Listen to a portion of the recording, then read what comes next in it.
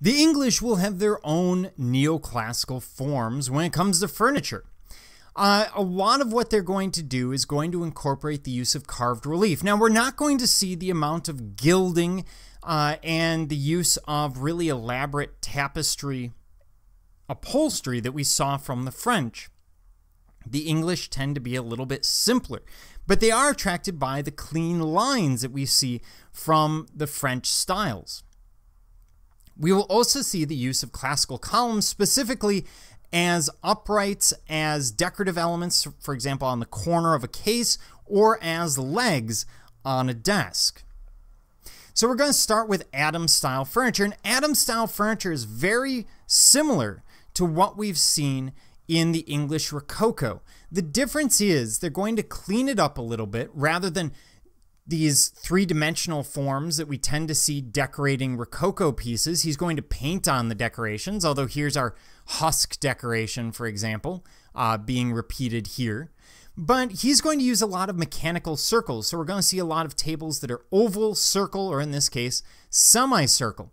And oftentimes, painted in some way. Sometimes he's doing this with uh, marquetry, giving us this very light form of the, in this case, parlor table. Now, Hepplewhite is going to be another great furniture maker, known primarily for his chairs. And he has a number of different backs that he will put on these chairs, some of them more uh, decorative than others. For example, the shield back is very common, the heart shaped back. Uh, here's another shield back, and here's a uh, Prince of Wales feathers in an oval back. It's a very complicated piece. But when we look at his pieces, uh, they're all going to incorporate a spade foot, or commonly incorporate a spade foot, which is basically a squared off piece that's going to taper to almost a point. Very similar to what we saw from the French neoclassical, but instead of being turned, it's actually hand carved or cut. Now, when we look at common features of Hepplewhite style furniture, we tend to see a graceful, delicate appearance, very simple geometry. Uh, if you see something that's curved, it's going to be a subtle curve or it's going to be a mechanical curve, a part of a circle. We're going to see short chests of drawers, pieces that are a little bit understated. Straight legs, often fluted or reeded. Fluted, cut in. Reeded, means that those uh, vertical pieces come out towards the viewer. And we're going to see some motifs like swags, ribbons, feathers, urns, and trees, but they'll usually be on the fixtures or in the marquetry work. We also have Sheraton furniture. Now, Sheraton, Thomas Sheraton, uh, will write a book called The Cabinet Maker and Upholsterer's Drawing Book. And he's going to be very influential with this text where he's designing things, but he isn't necessarily making them. Uh, and this is another element of specialization and professionalization that we see in the world of interior design. Now, sorry, I'm getting ahead of myself. Uh, with the chairs, chair backs tend to be rectilinear. Sometimes there are going to be porcelain plaques inset. We're going to see small scale decorations, veneers, and inlays. And he's going to use the same types of furniture legs as we saw from Hepplewhite, although the back legs continue upward to form the back of the support. So the difference is here the back leg would come up and this would be one solid piece going back to that rear leg. Now, he also designs the Carlton House desk, which was similar to a French bureau à jardin, gradin. And the writing table itself had three side by side drawers underneath the top, but the uniqueness was the added U shape unit on top of the piece. Although there's no uh, pigeonholes typically, sometimes there are, but typically there are not, we do see small sloping tops surmounting the drawers at either end. And what we have is this very graceful neoclassical curve moving around the back combined with that same classical curve down to that drawer. It's a very graceful piece and it's put up again on these very narrow feet that are fluted. And that is going to give it a certain sense of grace. This is very antithetical to the monumental style we see from desks in the Empire period in France. We'll also see the break front bookshelf.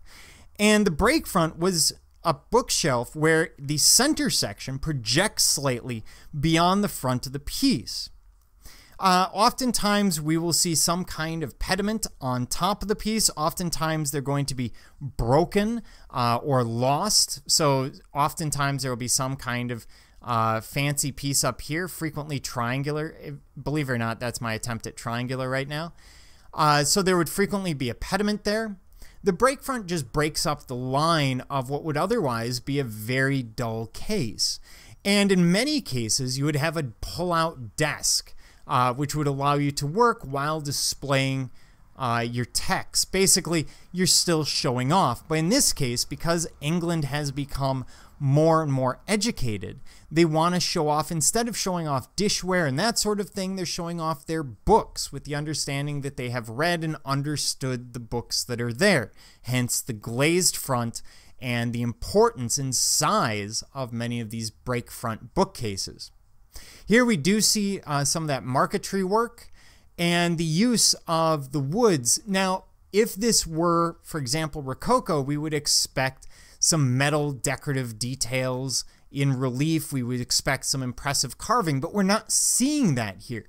Instead, we have some very simple uh, pediments being used as decorative elements. We have a very simple bracket foot on it, and the top, uh, sorry, pilaster uh, uprights, and the top would have been our very simple pediment or triangular form on top of the shelf, although again, those are frequently lost because they're usually independent of the piece. In real life, these frequently break at this point uh, so that they can actually be moved and transported without giving yourself a hernia. So I want to look at some of those features of our Sheraton furniture. We're going to see strong, well proportioned geometric shapes.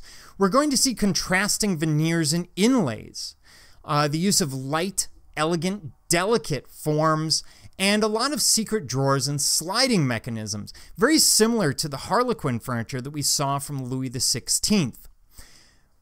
Also, straight legs and simple feet. This is meant to be a very pragmatic piece where the beauty comes from the elegance and curvilinear form rather than coming from a giant behemoth of a piece that we might have seen from the Baroque with all of its decorative carving and relief and everything else. These tend to be simpler, but they're looking for that cleaner appearance.